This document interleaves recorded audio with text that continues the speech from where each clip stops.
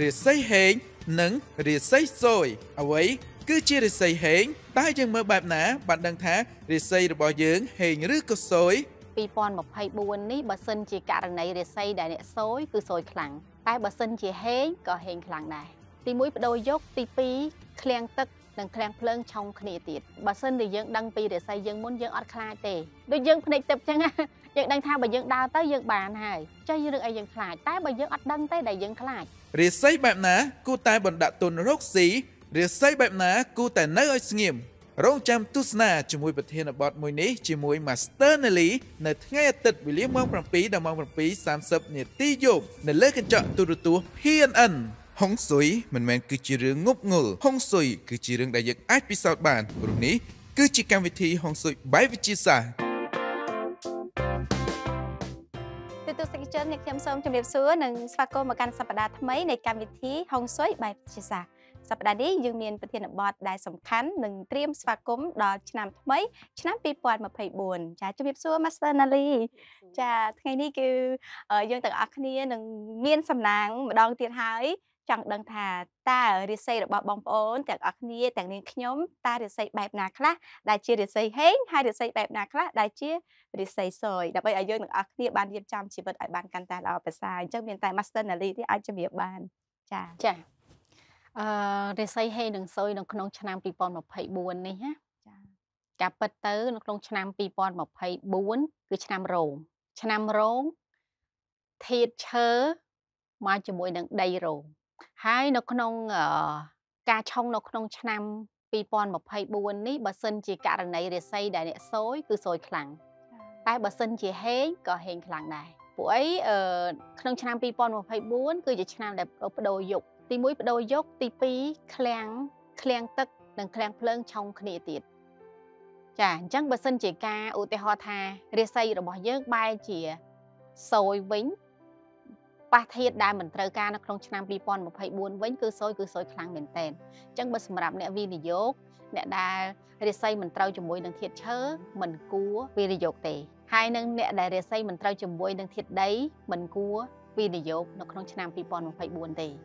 ចឹងកាលណាដែលក្នុងឆ្នាំដែលឆុងខ្លាំងបែបនេះបើសិនជាយើងឆាច់រាសីរបស់យើងទៅ ថារាសីរបស់យើងបែរជាមិនល្អនៅក្នុងឆ្នាំ2024ពីចំពេលដែលយើងបដូរយុគសម័យផងបដូរពីយុគ8ទៅចូលយុគ9ផងចំពេលឆ្នាំឃ្លាំងនិងឃ្លាំងបុកគ្នាឆុងគ្នា កាលណាឃ្លាំងនិងឃ្លាំងឆុងគ្នាបុកគ្នាបែបនេះ នៅពេលដែលយើងមានបញ្ហាគឺមានបញ្ហាធ្ងន់ចាវាខុសពី ឆ្នាំទូទៅដែលឆុងគ្នាឧទាហរណ៍ការឆ្នាំមុនឆ្នាំថោះឆុងលកាម៉ែធាតនិងម៉ែធាតយើងគិតថាខ្លាំងណាប៉ុន្តែឃ្លាំងនិងឃ្លាំងបុកគ្នាកាន់តែខ្លាំងចានៅក្នុងឆ្នាំ2024ប៉ះពាល់បើសម្រាប់អ្នកដែលរាសីដែលឆុងសូយវិញគឺប៉ះពាល់ធ្ងន់ធ្ងរខ្លាំងអញ្ចឹងបើសិនជាករណីថាមិនចង់ឲ្យប៉ះពាល់ខ្លាំងបើសិនជាយើងបានឆែករាសីយើងមុនឬមួយក៏យើងឆែកនៅក្នុង app My Destiny ក៏បានដែរបើសិនជាងាយងាយបើសិនជាយើងអត់ចេះមើលថាល្អមិនល្អយើងមើលតា ខ្វែងឬក៏ផ្កាយចាក្នុងឆ្នាំ2024តើក្នុង2024នៅក្នុងកន្លងឆ្នាំថ្មីហ្នឹងតើយើងខ្វែងឬក៏ផ្កាយបើសិនជាខ្វែងមិនល្អទេតែបើសិនជាផ្កាយបានន័យថាឆ្នាំ2024ជាឆ្នាំហេងរបស់យើងអញ្ចឹងនៅក្នុងឆ្នាំ2024វិបត្តិសេដ្ឋកិច្ចអាចនឹងធ្ងន់ធ្ងរជាងឆ្នាំ2023ប៉ុន្តែវាជាឱកាសសម្រាប់អ្នកដែលរិស័យឆុងហេងឬក៏អ្នកដែលរិស័យត្រូវជាមួយនឹង ឆ្នាំ2024ឬអ្នកដែលរិស័យដែលត្រូវជាមួយនឹងធាតុឈើឬធាតុដីចាជាស្ដែងសម្រាប់អ្នកដែលរិស័យកើតនៅក្នុងថ្ងៃធាតុមាសធាតុមាសបើសិនជាអ្នកដែលកើតនៅក្នុងថ្ងៃធាតុមាសយ៉ាង គឺទទួលបានលៀបធំ តែជាអ្នកដែលកើតរិស័យធាតុមាសរឹងមាំអញ្ចឹងសម្រាប់បងប្អូនដែលគាត់បានធ្លាប់ប្រើ app My Destiny នៅពេលដែលយើងដាក់ថ្ងៃខែឆ្នាំកណ្ដាលនិងម៉ោងកើតចូលនៅក្នុង app My Destiny ទៅ យើងមើលនៅក្នុងតួថ្ងៃរបស់យើងចាតួថ្ងៃតើថ្ងៃរបស់យើងរាសីខាងលើនឹងធាតុអីអញ្ចឹងបើសិនជាថ្ងៃនៅក្នុងរាសីខាងលើរបស់យើងនឹងជាធាតុមាសយ៉ាងឬក៏មាសយិនហើយជាប្រភេទរាសីរឹងមាំអញ្ចឹងយើងមើលនៅក្នុងកាឡោនមួយគេថាប្រភេទរាសីរបស់យើងតើជាប្រភេទរាសីរឹងមាំឬប្រភេទរាសីខ្សោយបើសិនជាករណីជាប្រភេទរាសីរឹងមាំបានន័យថាក្នុងឆ្នាំ2024យើងនឹងមើលនឹងឃើញផ្កាយនៅក្នុងឆ្នាំ2024នេះអញ្ចឹងបើកាលណាមានផ្កាយនៅក្នុងឆ្នាំ2024អ្នកដែលកាត់ធាតមាសមិនថាមាសយិនឬមាសយ៉ាងនិយាយខ្លីគឺមាសដកឬក៏មាសបោកគឺហេងទាំងអស់ជាពិសេសបើសិនជាករណីមាសបោកគឺហេងខ្លាំងបានលៀបដោយមិនបានក្រងទុកហើយជាលៀបជាដុំកំភួនបានន័យថាមិនមែនជាលៀបដែលលក្ខណៈមកកប៉ិតកប៉ុកទេចាអាចបានជាអចលនៈទ្របឬលៀបដែលបានមកជាដុំដែលអាចធ្វើឲ្យយើងនឹងមានធនធាន ក្នុងយុគថ្មីចាមានឱកាសចាអញ្ចឹងសម្រាប់អ្នកដែររាសីកើតនៅក្នុងថ្ងៃធាតមាស DT គេហៅថា DT ធាតមាសចាប៉ុន្តែប្រភេទធាតមាសរឹងមាំប៉ុន្តែបើសិនជាកើតនៅក្នុងថ្ងៃធាតមាសដូចគ្នា តែបែរជារាសីខ្សោយវិញធាតមាសរាសីខ្សោយក្នុងខេសនេះមានលក្ខណៈពិសេសឆ្នាំ2024ធាតដីមកជាមួយធាតឈើអញ្ចឹង ធាតឈើគឺធ្វើឲ្យយើងចំណាយច្រើន នៅក្នុងឆ្នាំ2024តែធាតដីបែរជា support អញ្ចឹងបានន័យថានៅពេលដែលយើងដាក់ទុនទៅយើងនឹងអាចបងខាត់ប៉ុន្តែមានអ្នក support យើងចាបើន័យថាបើសិនយើងវិញចំណូលមកបានប៉ុន្តែយើងបាត់អស់ពាក់កណ្ដាលហ៎ចាឧទាហរណ៍ចំណូល100យើងបាន50ទេយើងទុកបាន50ចឹងយើងបាត់អស់50ដោយសារអីធាតឈើគឺធ្វើឲ្យយើងចំណាយច្រើនប៉ុន្តែធាតដីគឺអ្នក support មកយើង ចាបើន័យថាល្អ50%សម្រាប់អ្នកដែលរិស័យខ្សោយយើងសំដាងដោយសារអីសំដាងអ្នកដែលធាតមាសរិស័យខ្សោយសំណាងដោយសារធាតដីក្នុងឆ្នាំ2024មក support ចាអញ្ចឹងក៏ជួយមួយចំណែកដែរចាប៉ុន្តែបើករណីគាត់ខ្សោយខ្លាំងហើយធាតខាងក្រោមរបស់គាត់បែរជាអត់មានធាតមាសទេឧទាហរណ៍ DT ដូចគ្នាណាអត់មានធាតមាសទេ DT ធាតទឹកឬអីផ្សេងអាហ្នឹងក៏មិនណែនាំឲ្យ មានការវិនិយោគនៅក្នុងឆ្នាំ2024ដែរចំណែកមួយទៀតសម្រាប់រិស័យដែលល្អគឺអ្នកដែលកាត់ធាតឈើបើន័យថានៅក្នុងថ្ងៃដែលគាត់កាត់គឺកាត់ធាតឈើមិនថាឈើយីនឬក៏ឈើយ៉ាងឈើដកឬក៏ឈើបោកទេអញ្ចឹងណាបើសិនជារិស័យរឹងមាំក៏ល្អដែរព្រោះដោយសារអីឆ្នាំ2024គឺរងចូលមកគឺដីឃ្លាំងទឹកអញ្ចឹងដីឃ្លាំងទឹកគឺជាចំណីរបស់ធាតុឈើដីឃ្លាំងទឹកគឺជាដីដែលត្រជាក់ដីដែល គេដាំធម្មតានៅពេលដែលយើងដាំដើមឈើគឺតដីហ្នឹងត្រជាក់ដីហ្នឹងមានសំណើមចាចាបើសិនជាដីហួតហើយដើមឈើក៏មិនរស់ដែរអញ្ចឹងរងនឹងឯងគឺជាចំណីជាជីរបស់ធាតុឈើអញ្ចឹងបើអ្នកដែលកើតនៅក្នុងថ្ងៃធាតឈើមិនថាជាឈើយីនក៏ដោយឈើយ៉ាងក៏ដោយគឺគាត់នឹងហេងនៅក្នុងឆ្នាំ2024ប៉ុន្តែត្រូវបែងផលលាបឲ្យអ្នកដតីចា៎អញ្ចឹង ផលលាបដែលបានមកគឺមិនបានពេញលេញសម្រាប់ពួកគាត់ទេដោយសារ2024គឺមានឈើមកជាមួយដែរអញ្ចឹងឧទាហរណ៍ថាចង់បានផលលាបហ្នឹងលុះត្រាតែគាត់សហការគ្នាឬមួយក៏គាត់មិនបានសហការគ្នាប៉ុន្តែផលលាបដែលបានមកត្រូវបែងឲ្យអ្នកដតីពាក់កណ្ដាលចាអរគុណអ្នកគ្រូដល់ពេលអ្នកគ្រូមានប្រសាសន៍រៀបរាប់បង្ហាញអីចឹងទៅនេះខ្ញុំជឿថាបងប្អូនដែលគាត់មាន subscribe app ហើយ app My Destiny ហើយគាត់ប្រកាសជា ស្ដាប់បដាគាត់មើលអ្នកគ្រូបដាគាត់នឹងចាអនុវត្តចង់ដឹងថាតើគាត់នៅក្នុងចំណុចណាមួយថ្ងៃដែលគាត់កើតចាអញ្ចឹងបងប្អូនអាចស្ដាប់អ្នកគ្រូភ្លាមអនុវត្តភ្លាមភ្លាមហើយចង់ដឹងហើយយើងត្រៀមខ្លួនទុកជាមុនសម្រាប់ស្វាគមន៍ឆ្នាំថ្មីឆ្នាំ2024ចានៅវគ្គបន្ទាប់យើងនឹងស្វែងយល់បន្តទៀតថាតើរិស័យណាខ្លះឬក៏បើសិនជាបងប្អូនដឹងថាខ្លួនឯងរិស័យល្អឬក៏ឆុងឬក៏ហេងយ៉ាងណាមួយនោះគឺបងប្អូននឹងស្ដាប់បន្តទៀតឲ្យកាន់តែស៊ីជម្រៅសម្រាប់វគ្គបន្តចានៅពេលនេះកម្មវិធីសូមអនុញ្ញាតសម្រាប់បន្តិចសិន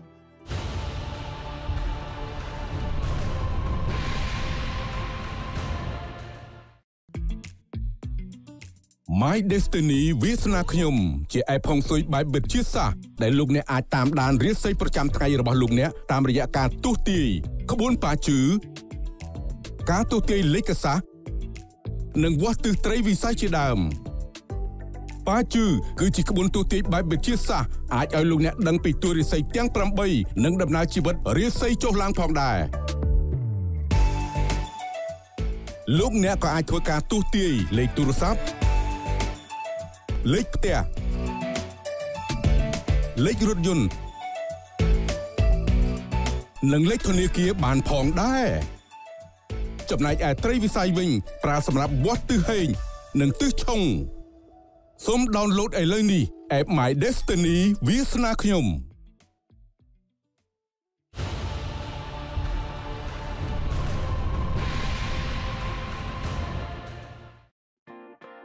ចាទូទស្សនិកជនស្វាគមន៍ជាបន្តមកកាន់កម្មវិធីហុងស៊ុយបាយវិទ្យាសាស្ត្រចង់ដឹងថារិស័យរបស់បងប្អូននៅក្នុងចំណុចណាមួយក្នុងឆ្នាំ2024ចាដូចនាងខ្ញុំគិតអញ្ចឹងនៅពេលដែលបងប្អូនមានអេបហើយប្រកាសជាស្ដាប់បដា ហៅមើលបដាចាចង់ដឹងខ្លួនឯងនៅក្នុងចំណុចណាមួយហើយបងប្អូនដែលអត់ទាន់មានទេចាអាច subscribe ចូលជា user អ្នកប្រើប្រាស់ subscriber នៅក្នុង app យើងបានចង់ដឹងពីរិស័យរបស់ខ្លួនឯងថាតាហេងឬក៏សុយឬក៏ត្រូវធ្វើយ៉ាងម៉េចដើម្បីឲ្យយើងមានជីវិតមួយដ៏ល្អប្រសើរអញ្ចឹងអ្នកគ្រូនេះខ្ញុំសូមស្ដាប់បន្តទៀតចាចាព្រោះថាមិញនេះយើងនិយាយដល់អ្នកដែលការធៀបឈើចាបានន័យថាថ្ងៃធៀបឈើមិនមែនឆ្នាំធៀបឈើទេណាចាសូមបញ្ជាក់គឺមិនមែនឆ្នាំធៀបឈើទេ គឺថ្ងៃធាតឈើអញ្ចឹងថ្ងៃធាតឈើឧទាហរណ៍ថារាសីរបស់យើង កើតចំថ្ងៃធាតឈើយិនក៏ដោយឈើយ៉ាងក៏ដោយតែជាប្រភេទរាសីរឹងមាំឆ្នាំ2024យើងនឹងទទួលបានលៀបចាបានន័យថាបើយើងបដាក់ទុនគឺយើងនឹងជោគជ័យបដាក់ទុនគឺយើងធ្វើឲ្យយើងនឹងហេងធ្វើឲ្យយើងទទួលបានផលកម្រៃប៉ុន្តែសម្រាប់អ្នកដែលធៀបឈើកាលណាធៀបឈើរឹងមាំ យើងមិនដាក់ទុនទទួលបានផលកម្រៃមែនប៉ុន្តែយើងត្រូវបែងផលលៀបពាក់កណ្ដាលឲ្យគេហើយយើងអត់បានពេញ100%មកយើងទេដោយសារតែ2024គឺធាតឈើយ៉ាងមកជាមួយនឹងដីអញ្ចឹងមានគូប្រកួតប្រជែងចាំ stand by គេហៅគូដណ្ដើមលៀបឬក៏មិត្តភ័ក្តិនៅចាំ stand by ហើយបើសិនជាសម្រាប់បងប្អូនដែលកើតនៅក្នុងថ្ងៃធាតឈើយ៉ាង ថ្ងៃធាតឈើយ៉ាងឧទាហរណ៍ថាយើងហេងមែនប៉ុន្តែការងាររបស់យើងនឹងហេងគឺផលលៀបដែលបានទៅបាញ់ឲ្យមិត្តភ័ក្តិមិត្តសម្លាញ់ឬមួយក៏បងប្អូនតែបើសិនជាករណីយើងកើតនៅក្នុងថ្ងៃធាតឈើយិនអញ្ចឹងផលលៀបដែលបានគឺបានមកហើយទៅតែមានកៃដណ្ដើមលៀបពីយើងទៅពាក់កណ្ដាលបាត់ដែរឧទាហរណ៍យើងបែងឲ្យនរណាម្នាក់ដែលយើងមិនពេញចិត្តនឹងឲ្យគេអញ្ចឹងប្រកាសជាផលលៀបដែលបានមកមិនពេញលេញទេអញ្ចឹងនៅពេលដែលយើងបានមក យើងទៅត្រៀមចិត្តទៅហើយថាវាប្រកាសជាមានរឿងអ្វីមួយដែលត្រូវធ្វើឲ្យយើងចំណាយលុយនឹងទៅវិញចឹងសម្រាប់អ្នកដែលការធៀបឈើឬធៀបមាសអ្វីដែលសំខាន់នៅក្នុងឆ្នាំថ្មីនេះគឺអ្នកដែលធៀបមាសគាត់មានឱកាសជាងគេការនៅក្នុងថ្ងៃធៀបមាសដោយសារអី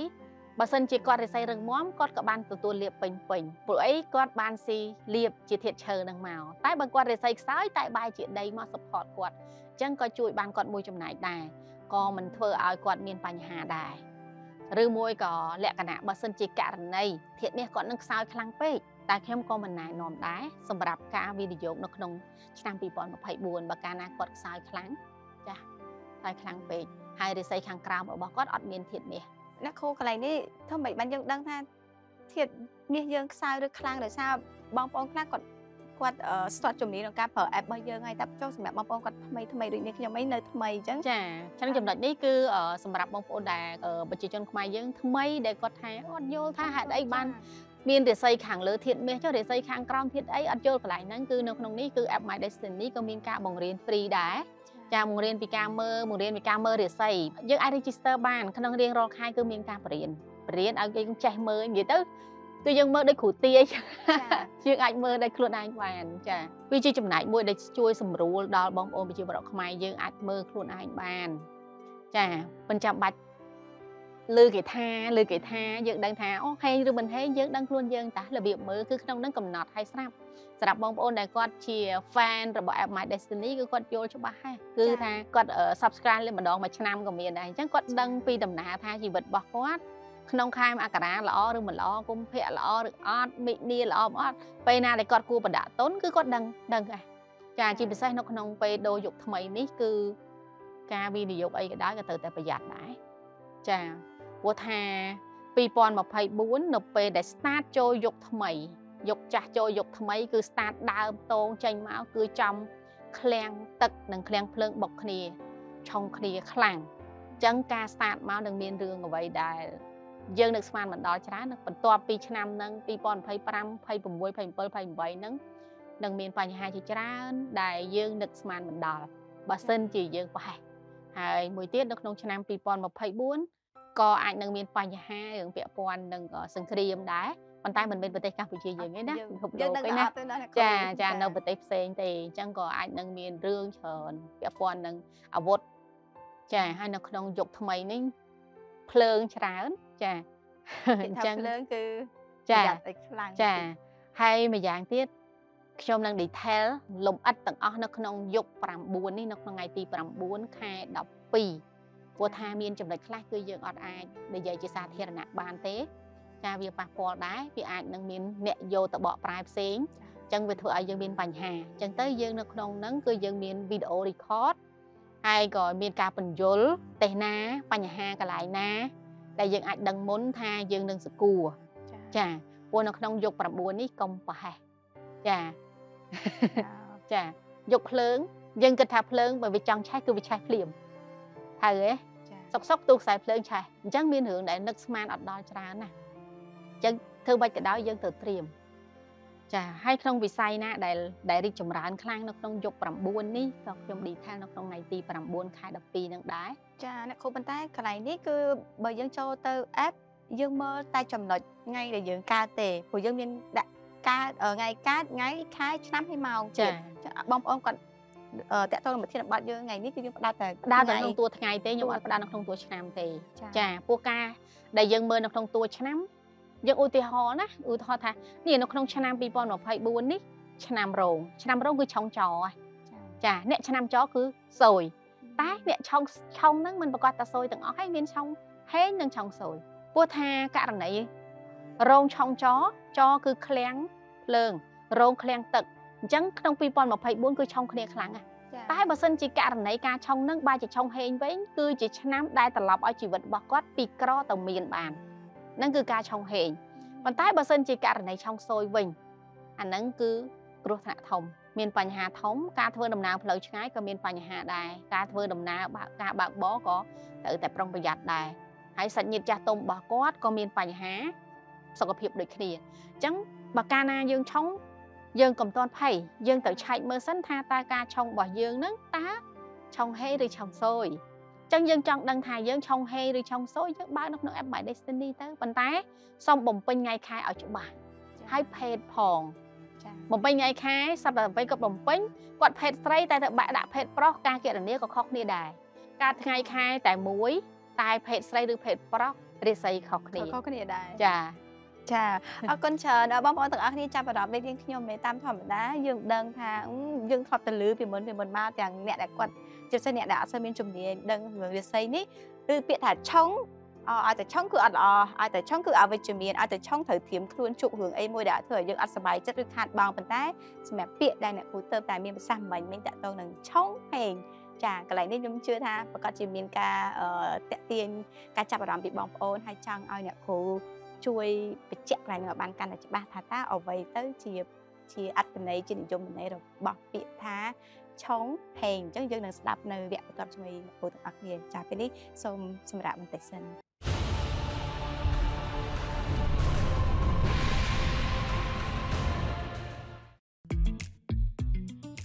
My Destiny វាសនាខ្ញុំជាឯផុងស៊ុយបែបបិទជាសាសដែលលោកអ្នកអាចតាមដានរៀបសីប្រចាំថ្ងៃរបស់លោកអ្នកតាមរយៈការទស្សន៍ទាយ ក្បួនប៉ាជឺការទស្សន៍ទាយលេខសាសនិងវាស់ទិសត្រីវិស័យជាដើមប៉ាជឺគឺជាក្បួនទស្សន៍ទាយបែបបិទជាសាសអាចឲ្យលោកអ្នកដឹងពីទួរិស័យទាំង8និងដំណើរជីវិតរាសីចុះឡើងផងដែរលោកអ្នកក៏អាចធ្វើការទស្សន៍ទាយលេខទូរស័ព្ទលេខផ្ទះលេខរថយន្ត និងលេខធនាគារបានផងដែរចំណែកឯត្រីវិស័យវិញ ប្រើសម្រាប់វាស់ទិសហេង និងទិសឆុងសូមដោនឡូតឥឡូវនេះ App My Destiny វាសនាខ្ញុំ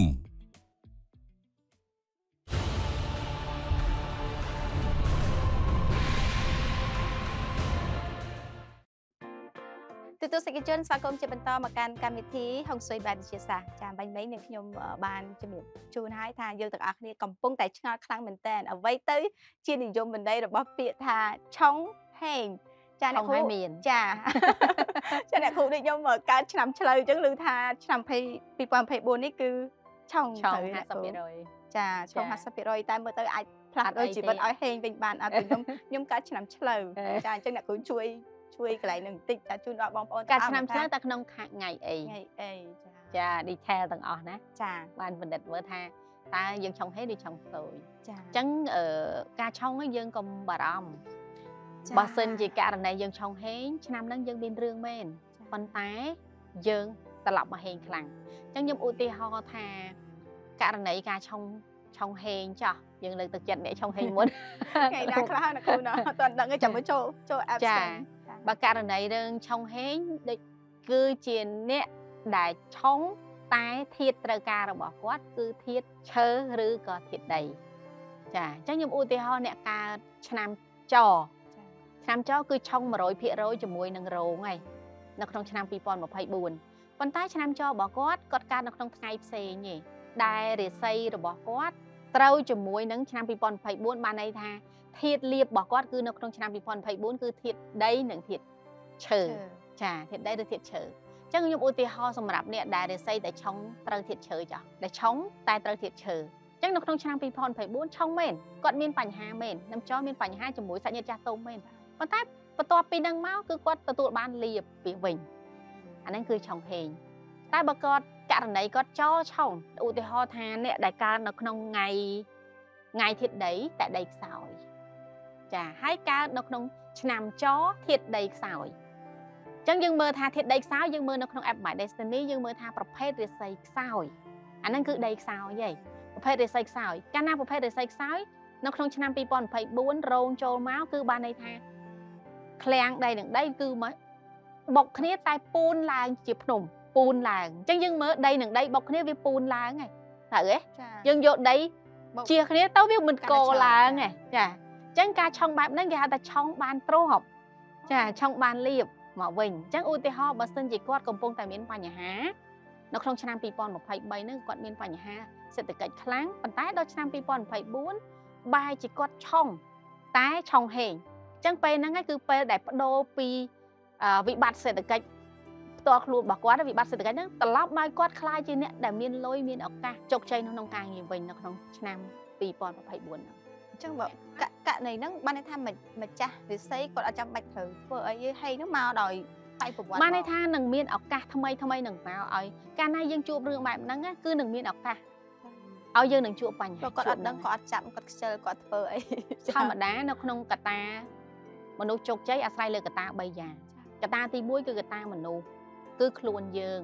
យើងទៅចេះចាប់ឱកាសយើងទៅចេះរកប្រឹងប្រែងការងាររៀនសូត្រចំណេះជំនាញរបស់យើងត្រូវតែមានអញ្ចឹងបើគេយក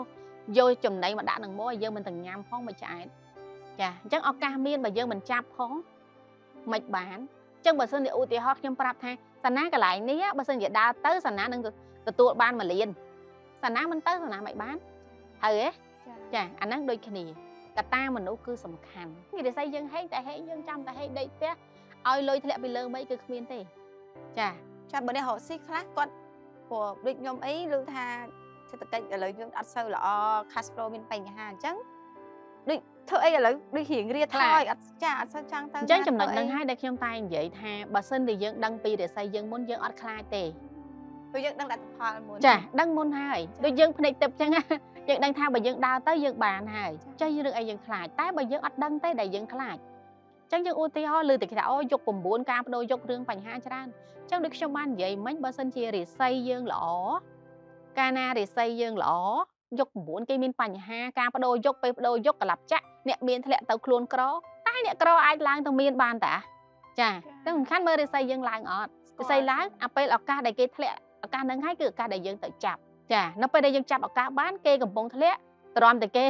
ងើបមកយើងដើរទៅដល់ណាបាត់ហើយអញ្ចឹងសំខាន់អត់មានអីដែលល្អជាងការដឹងមុននេះអញ្ចឹងការដឹងមុន2024យើងហេងឬសូរយើងមើលរិស័យរបស់យើងទៅ ហើយភាពហេងរបស់យើងនៅក្នុងឆ្នាំ2024ខ្ញុំឧទាហរណ៍ថាយើងឆុងហេងមិនមែនបានន័យថាយើងមិនមានរឿងទេយើងមានបញ្ហាឈឺក្បាលគឺយើងនៅឈឺឧទាហរណ៍ករណីការឆុងហេងចរឆុងរោងចាស់បញ្ហាសាច់ញាតិចាស់ទុំរបស់យើងនឹងឈឺនឹងមានបញ្ហាតែយើងក៏មិនប៉ះពាល់នឹងបញ្ហារឿងសេដ្ឋកិច្ចហិរញ្ញវត្ថុទេអញ្ចឹង2024យើងឆុងយើងអាចនឹងមានបញ្ហាជាមួយអ្នកធំមែនតែបញ្ហាមកមែនបន្ទាប់ពីបញ្ហាហ្នឹង នៅមានអ្នកធំមួយទៀតដែលមក support យើងហើយល្អជាងមុនទៀតអាហ្នឹងស្មើនឹងយើងដើរកម្មជាដើរអញ្ចឹងដើរកម្មជាដើរមួយគេកាត់ជើងយើងយើងលោតបតង់ទៀតអ្នកខាងលើជួយយើងយើងក្រោបពីគេបាត់ហើយគេតោងយើងឡើងលើចាអាហ្នឹងអញ្ចឹងអញ្ចឹងនៅពេលកាលណាដែលឆុងបែបហ្នឹងគឺយើងអត់បាច់ខ្លាចទេយើងដឹងថាមានរឿងហ្នឹងតែនឹងមានរឿងល្អករណីមួយទៀតយើងអាចបាត់បង់អ្វីមួយយ៉ាងឧទាហរណ៍ថាករណីយើងបាត់បង់មួយលានតែយើងបាន10មកវិញ នឹងការឆុងហេងយើងឆុងយើងបាត់ទៅមួយយើងមកវិញ5ឬក៏10ចាឬក៏2អញ្ចឹង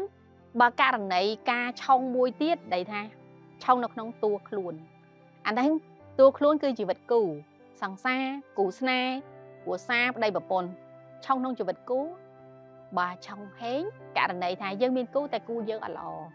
តែឆ្នាំហ្នឹងបាយតែឆុងគូយើងចេញបាត់អ្នកណាម្នាក់មកតាក់ គូយើងហ្នឹងទៅបាត់ចាយើងជួបគូថ្មីដែលល្អនឹងអញ្ចឹងតែបើឆុងសូយគេយកមនុស្សដែលយើងស្រឡាញ់ទៅហើយយើងក៏អត់មានអ្នកថ្មីដែរអាហ្នឹងចាអញ្ចឹងមិនថាវាមានករណីឆុងហេងឬឆុងសូយហើយ topic ថ្ងៃនេះគឺអត់ចប់ទេទៅនិយាយបាន40%មែនតើចង់ដឹងមែនទេព្រោះម្ដងធ្លាប់តែលើថាតែឆុងគឺឆុងហើយអត់ដែលមាន ឆុងហេងអីមកអញ្ចឹងអញ្ចឹងបងប្អូនត្រឡប់មកវិញបន្ទាប់ពីបានទស្សនាវីដេអូនេះហើយនេះក៏ជាវីដេអូជួយជាក្តីសង្ឃឹមឲ្យបងប្អូនដែរកុំឲ្យគាត់ពិបាកចិត្តពេកថាអូឆ្នាំខ្ញុំឆុងឬក៏សយរកស៊ីពិបាកលុយកាក់ឥឡូវមកតិចជាងមុនអឺ បងប្អូនបានមើលកម្មវិធីនេះហើយសង្ឃឹមថាអ្នកគ្រូណាលីចា Master ណាលីយើងនៅជាកម្លាំងចិត្តចាជួយដល់បងប្អូនទាំងអស់ជួយនឹងមានចេញវីដេអូបន្តបន្តទៀតពាក់ព័ន្ធនឹងការរៀបចំផ្ទះសម្បែងនៅក្នុងយុគ9តើគួររៀបចំបែបណាអាចរៀបចំខ្លួនឯងបានបើយើងរៀបចំលម្អិតអានឹងវាពាក់ព័ន្ធនឹងការកណនាទិសអង្សាផ្សេងផ្សេងទៀតប៉ុន្តែសម្រាប់បងប្អូនដែលអត់តអត់មានធនធានក៏អាចមើលវីដេអូនេះក៏អាចទៅរៀបចំខ្លួនឯងបានក៏ជួយមួយចំណែកដែរក៏បានយ៉ាងហោចណាស់ក៏បាន30 40%ក៏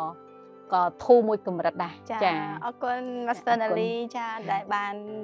ផ្ដល់ពេលវេលាតែងតែជួយលើកទឹកចិត្តនិងជួយឲ្យបងប្អូនដឹងពីរបៀបនៅក្នុងការមើលរិស័យរបស់ខ្លួនឯងហើយតែ topic នេះតទៀតតទៀតចាយើងមានច្រើនច្រើនបន្តទៅទៀតហើយអរគុណដល់បងប្អូនទាំងអស់ទាំងទស្សនានៅលើកញ្ចក់ទូទួលចា PNN ឬក៏តាម app របស់យើងលើ social media តាម Facebook ជាពិសេសបងប្អូនដែលតែងតែផ្ញើបេះដូងដល់ Master Nali ឥឡូវ Master Nali ផ្ញើបេះដូងជូនដល់បងប្អូនវិញចាស់ហើយយើងទាំងអស់គ្នារួមគ្នាធ្វើយ៉ាងណាឲ្យការមើលរិស័យរបស់ខ្លួនឯងនិងចាវិជាថ្មី ហុងស៊ុយសម្រាប់ឆ្នាំ2024ក៏ដូចជាយុគថ្មីយុគ9នេះសូមឲ្យប្រកបដោយវិជ្ជាជីវៈនិងប្រកបទៅដោយសិលធម៌ទាំងអស់គ្នារួមគ្នាដើម្បីធ្វើឲ្យប្រទេសយើងកាន់តែមានសន្តិភាពនិងកាន់តែមានភាពល្អប្រសើរចាជួបគ្នានៅសប្តាហ៍ក្រោយចាពេលនេះយើងខ្ញុំទាំងអស់គ្នាសូមជម្រាបលា